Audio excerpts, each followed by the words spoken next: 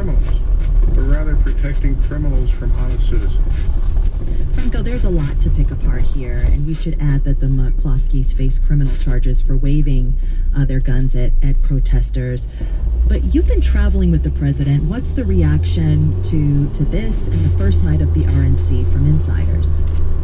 Well, there's, you know, their speaking really resonates with some of the base, a lot of the base. I mean, their uh, arguments, their uh, calls for many of the themes that we've heard in the first day of the convention and we expect to continue to hear about. I mean, they're warning of uncontrolled lawlessness, of suburban decay if Biden is elected. Those are things that really resonate with that the, the base. And they're also referring to Democrats as radicals they, that, that want to take away people's guns. And they're obviously fans and supporters of guns and the Second Amendment. So these these are issues that they're talking about that have been uh, that we've heard over and over again in just the first 24 hours of the RNC. Yeah, last night speakers drove home uh, a lot of what you're saying, that a vote for Joe Biden specifically is a vote for socialism. Let's listen to Tim Scott, uh, the only black Republican in the Senate. Joe Biden and Kamala Harris want a cultural revolution, a fundamentally different America. If we let them, they will turn our country into a socialist utopia.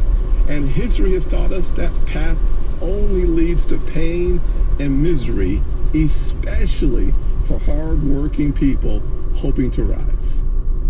Okay, Franco, it's true that Biden is the left party candidate, but but he'd car- he'd hardly call himself a socialist. What's the strategy behind painting Biden this way from the Trump administration?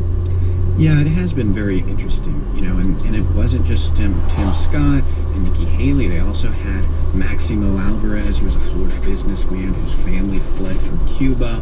He warned of the dangers of socialism and talked about how he knows what he got very emotional talking about what could happen. Um, and, you know, frankly, as you note, it's kind of a tough argument to make even on a good day against Joe Biden, he's not the radical left. He's not an extremist. He's not a socialist. But it is something that the Republican, um, you know, leadership, the president, uh, and his campaign have been kind of pushing on Democrats for a while. They had actually kind of planned to make this case against Bernie Sanders, but obviously Bernie's not a candidate, uh, so they had to shift a bit, and they're now kind of adopting and saying Biden is just a puppet have you know the backbone to kind of withstand this this shift to socialism. Another big message Republicans uh, were eager to point to how the economy was doing before the pandemic. Uh, when they uh, have to talk about COVID-19, they praise the president's response. But polls show that most Americans still disapprove of, of tax reform. Is that correct?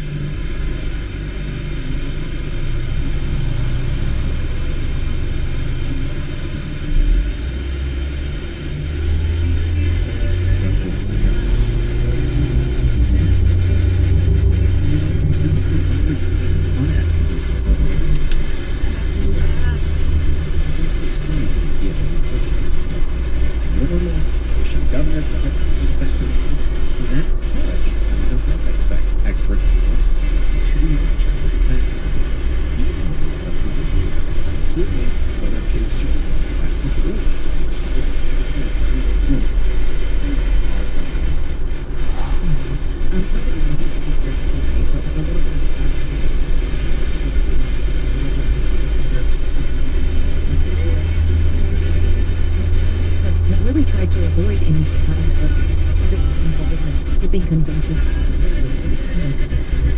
Yeah, unusual about him talking about Trump's foreign policy on this speech. Um, he appears to violate state department guidance, giving conversation to do this matter on a but State Department job.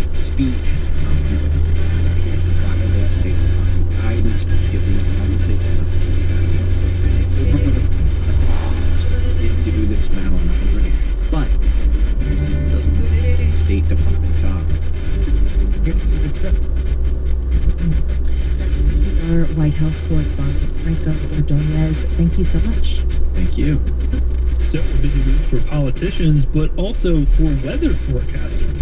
Tropical storm Laura intensified into a hurricane this morning as it spins toward the Gulf Coast. People in parts of Texas and Louisiana have been ordered to evacuate.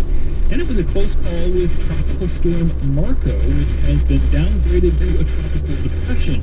Marco made landfall yesterday at the mouth of the Mississippi River, dumping heavy rain. Jeff Huffman is director and chief meteorologist of the Florida Public Radio and Network. Back. As for people who follow the weather, um, Laura is a Chris Tomlin, Mason Green. Louisiana. It is uh, entering the environment of the Gulf of Mexico that is right for intensification, rapid intensification. Uh, so this will be a likely significant hurricane that's an official forecast. About 36 to 48 hours from now. So that would place about tomorrow night. Uh, we're talking about winds possibly up to 150 and a life-threatening storm surge uh, stretching anywhere from Houston, Texas to potentially Lake Charles, Louisiana. I'm just going to say it looks like parts of Houston have been included in that warning. We know this is a city that's prone to flooding, serious flooding at times. How much potential damage are we looking at along the coast? Well, residents of Houston and all the surrounding areas, especially uh, that experienced the catastrophe from Hurricane Harvey, this is a much different storm. Harvey was mostly a flooding rain threat, an inland flooding concern. This is going to potentially bring catastrophic wind damage to portions of the coast where it was ashore, in addition to life-threatening storm surge. And, and remember, Houston is still within that margin of error, that cone of uncertainty. Uh, roughly at 36 hours from now, the average forecast errors on the track are about 60 nautical miles. Uh, so that places Houston still within the realm of possibility of a direct hit. Also remember the intensity forecasts this far out are still roughly 10 to 15 miles per hour in terms of the wind speed. So this still could intensify further, and uh, the greater Houston area, and especially the eastern side of that metro area, uh, could take a direct hit from Hurricane Laura. What about New Orleans, another city that's prone to flooding? You mentioned Louisiana. Yeah, there's a storm surge watch there, meaning there's not a, a lot of confidence that there will be life-threatening storm surge, but it is possible uh, because of the long fetch of wind over the water and the direction of that wind moving in. And, and the water levels are already still pretty elevated from Marco, so some minor storm surge flooding is possible in the greater New Orleans area. But by far, the, the deeper storm surge, and we're talking potentially 9 to 13 feet, will occur in southwestern Louisiana, uh, west of the Intracoastal City. So your message to people in the path of the storm, how urgent is it? Well, today is the day to finish preparations. If you're in danger of storm surge, listen to local authorities, get out, evacuate. If you are not told to evacuate, especially considering the ongoing pandemic, and you know your building codes and how strong your home is to withstand the winds, uh, consider staying put. Uh, and, and, of course, today's the last day to finish those those uh, uh construction on the home, repairs, uh, any kind of preparations need to be completed today. Tropical storm winds uh, could be arriving in southeast Texas, southwest Louisiana by midday tomorrow. So this is very serious, but you know, I guess it could have been worse because just a few days ago, forecasters uh, were worried that two hurricanes could make landfall this week along the Gulf Coast. Luckily, as we said, Marco kind of faded as it made its landfall yesterday, but it did bring a lot of rain. I mean, is this still a dangerous one-two punch? Yes, the impacts from Marco, thankfully, were a little spread further to the east, so residents of southwest Louisiana have experienced very little from Marco. This is now all about Hurricane Laura. It would be the sixth tropical system to make landfall uh, this season already, which would break a record for how early this is occurring. But Laura is a significant threat, far and above all the other storms that we've had this season. Uh, this could be a major hurricane landfall. Okay, so we're going to keep a close eye on that in the next 24 hours. Um, but what's ahead after that? Do you see anything else out there in the Atlantic that you've got your eye on? Well, thankfully, the tropics are in, entering what I would call just a brief lull in activity after Laura makes landfall, but we are still approaching the peak of the season, and conditions are still favorable for multiple storms and potentially strong hurricanes as well this year. All right, Jeff Huffman, long day ahead for you, Director and Chief Meteorologist of the Florida Public Radio Emergency Network. Jeff, thanks very much, and we will keep in touch uh, as this storm, Hurricane Laura, it appears, uh, gets ready to make landfall. Jeff, thanks so much. Thank you. And you're listening to Here and Now.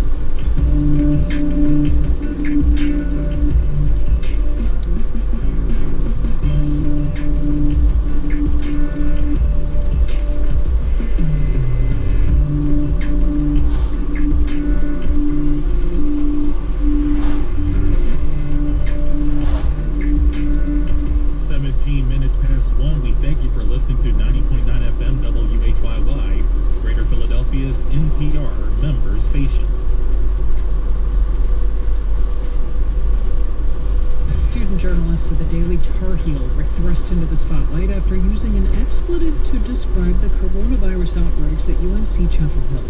We are scared because not only is this news that we're writing about for other people to hear, we're also hearing about it ourselves for the first time usually when we're writing about it. I'm Mary Louise Kelly, what it's like to report on and live the pandemic on campus this afternoon on All Things Considered from NPR News.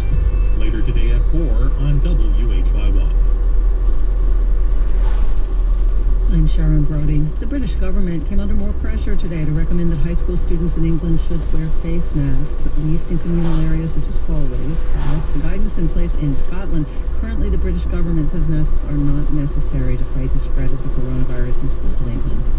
Lawyers for Mladic called on UN judges today to overturn his convictions for crimes, including genocide committed as commander of Bosnian Serb forces in the Bosnian War. He was sentenced to life in prison for his role in atrocities, including the Srebrenica massacre and the of Sarajevo. Two black retired NFL players filed legal actions in federal court today. They're calling on the judge to stop the NFL from demanding the use of race-based benchmarks to evaluate players' claims in the landmark concussion settlement. Players accuse the NFL of discriminating against black players who filed dementia-related claims. You're listening to Here and Now.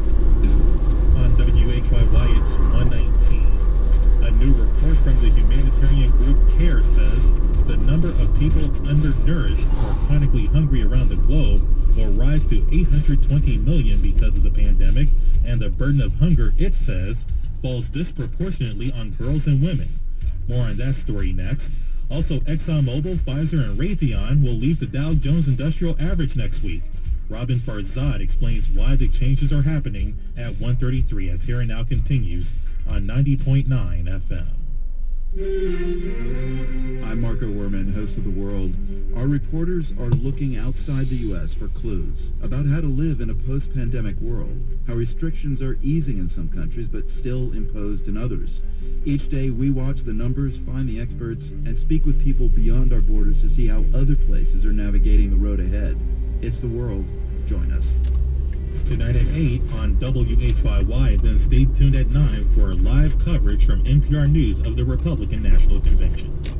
Funding for Here and Now comes from the listeners of WBUR Boston and Geico, offering auto insurance coverage for cars, trucks, or SUVs, and providing 24-7 customer service. More information on auto insurance at geico.com or 1-800-947-AUTO.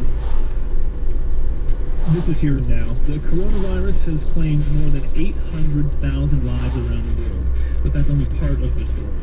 The pandemic has also added gasoline to the global hunger crisis. The Census Bureau reported in late July that 29 million American households sometime or often didn't have enough to eat in the previous seven days. And a new report from humanitarian group CARE says that at the beginning of 2020, 690 million people around the world were undernourished or chronically hunger, hungry, but that number could increase by 130 million because of the pandemic. According to the report, the burden falls disproportionately on women. Tonya Rawe is CARE of Global Food and Nutrition Security Advocacy, and she joins us now by Skype. Tonya. Thank you. It's great to be here. Good to have you. And why has this pandemic had such a profound effect on food security? There are a number of reasons, Peter. When we look at how governments and other actors are really trying to stop the spread of the pandemic, that has meant, as many of us have experienced personally, that we're facing lockdowns, we're facing limits on our mobility, and in some places that also then means that markets are closed. People have lost their jobs, so they've lost their livelihoods. And so it's become both a result of losing income and not being able to afford food, but also not being able to access food, as people have not been able to get out to markets on a regular basis to purchase the food that they need. Yeah, and your report that in West and Central Africa, people starvation has. In South Africa, food shortages have gone up by 90%. What part of the world are you most concerned about? It's a challenge around the world. Whether we look here in the United States and we see um, the growth in the number of people who are relying on food assistance here in the U.S., or as you said, we look at the growing numbers in every region around the world. It's a challenge everywhere, and it's a challenge for all of us to grapple with. You point out that 6 million Americans have requested food stamps since the early months of the pandemic. Are the safety nets in this country enough? I think we're seeing safety nets everywhere stretched. It's a challenge when those numbers are going up as quickly as they're going up for anyone to be responding adequately. And we see that particularly for women as they're looking at the additional challenges that their families are facing.